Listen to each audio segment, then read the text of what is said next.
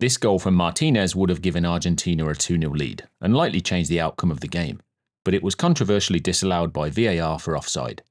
Let's take a look at whether the officials got the decision correct.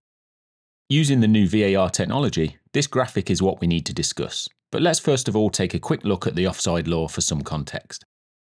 The laws of the game say this The hands and arms of all players, including the goalkeepers, are not considered. For the purposes of determining offside, the upper boundary of the arm is in line with the bottom of the armpit.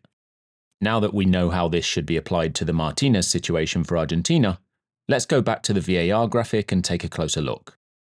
If we zoom in, these are the two areas VAR is considering Martinez's shoulder and the Saudi Arabia defender's foot. If we zoom in even further and apply the guidance regarding the bottom of the armpit with a line, this is what we get. The red line shows armpit to upper arm. Anything past that is your shoulder, which you can legally score a goal with. The white line is level with the Saudi Arabia defender's boot, and so the tiny area we're talking about is basically this yellow triangle. We are talking about tiny fractions, probably just millimetres. Even at this level of scrutiny, it's almost too difficult to call.